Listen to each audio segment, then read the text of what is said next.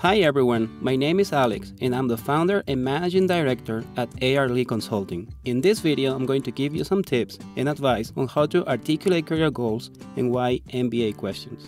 But before I do so, let me just briefly introduce myself. Before setting up AR Lee Consulting, I was executive director and head of HR at Samsung Electronics Mexico, one of Samsung's biggest subsidiaries worldwide. I'm an INSEAD MBA graduate and an admissions interviewer for the school. I hold undergraduate degrees in engineering and business and a master's degree in telecommunications. I was born and raised in Barcelona, but I've been moving around quite frequently, with additional experiences in US, Peru, France, Singapore, Cambodia, Mexico, and South Korea. Now that you know a little bit more about me, let's talk about how to articulate career goals and why MBA questions. Before starting the application process, it is quite common for applicants to not have clear career goals and therefore no clear need for an MBA. Some people say, I don't have any career goal in mind, I just know I want an MBA. Well, an MBA is not a little treat, it must be something you really need. Some other people say, I want to be management consultant because I heard you get to work in really cool projects with really smart people. Hmm, that's true, but is that a compelling reason to be accepted to a top MBA school? And some other people say, I would like to work either in private equity, investment banking, management consulting, or as a product manager for a tech giant. These look like quite different goals to me. This indicates that career goals are not that clear. Please bear in mind that being able to articulate clear career goals and the need for an MBA is key in your admissions process.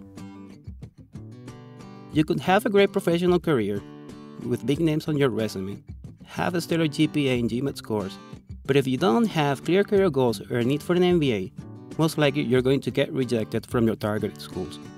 I have personally rejected applicants during the interview process precisely because they were not able to defend their career goals or need for an MBA.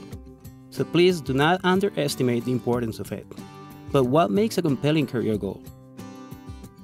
Ideal career goals are concrete and specific, motivated by something else other than money, power, and success, connected to your MBA story and need for an MBA, and realistic and achievable.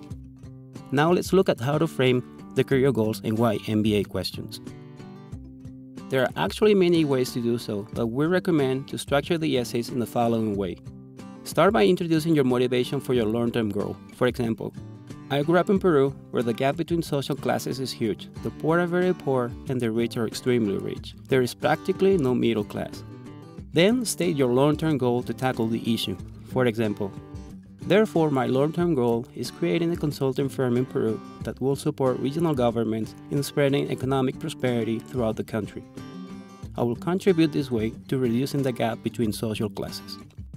Next, state your immediate post-MBA goal that will be the bridge to your long-term goal. For example, in order to achieve this goal, my immediate post-MBA goal is to work for a major global management consulting firm, such as McKinsey where I will learn best practices that I will later apply in my own consulting firm.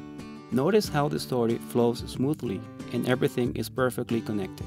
The next step in order to complete your story is addressing the need for an MBA. Using the same example as before, you could connect your current skills and goals with the need for an MBA as follows. Throughout my career, I have developed X, Y, and Z skills.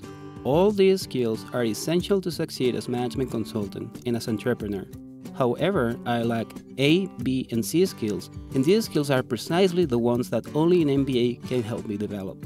Here, please make sure your career goals require an MBA or can be achieved significantly faster with an MBA. Finally, some applications ask why this particular school and not any other can help you achieve your goals. In this case, you could frame the answer in the following way.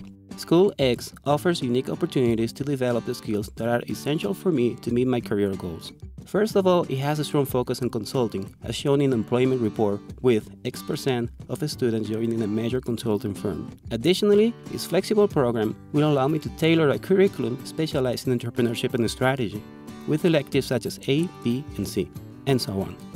Here, it is important that you study well the school and avoid including simply publicly accessible information. This is your chance to show that you know the school well. If possible, visit the campus and talk to current students and alumni. Articulating career goals and why MBA questions is also important during the interviews, so I'm going to give you a few quick tips.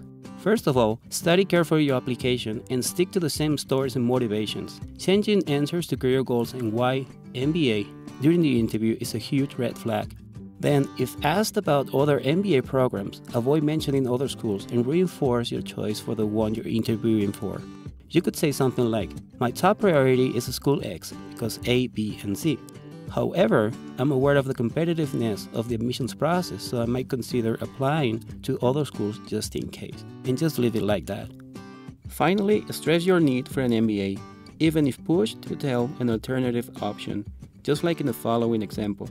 If the interviewer asks, What if you don't get into any MBA? Don't say something like, I will then rethink about my career goals and will try to find another passion. This would almost for certain disqualify you. As a matter of fact, I have rejected several candidates who answered in a similar way.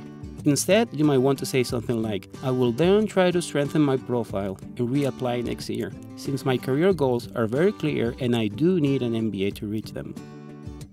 I hope you have now a more clear idea of how to articulate career goals and why MBA questions. In case you need some extra help, at AR Lee Consulting, we can help you come up with career goals that match your motivations, skills, and that, as we mentioned before, are concrete and specific, motivated by something else other than money, power, and success, connected to your story and need for an MBA, and realistic and achievable. And of course, they will be included in your application as part of your MBA story. Career coaching is actually one of our core strengths due to my high level HR background. We wish you the best of luck in your applications. Visit our website and contact us for a free evaluation and detailed discussion about your future.